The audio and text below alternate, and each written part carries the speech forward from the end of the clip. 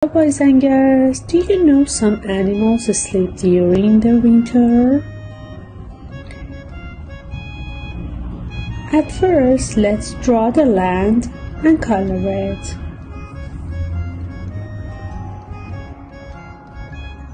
During the summer, they save some food